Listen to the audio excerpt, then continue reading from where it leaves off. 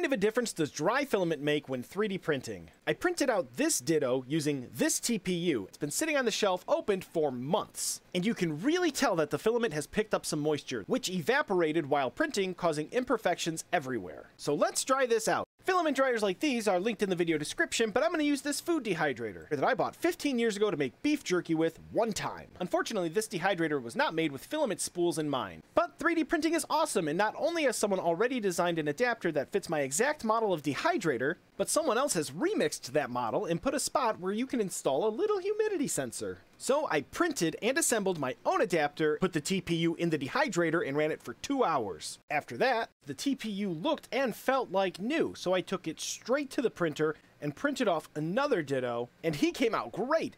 And when you put him next to the original Ditto, you can really see the improvement in print quality. The only marks on him are from the Z-seam, and he is nice and smooth and squishy.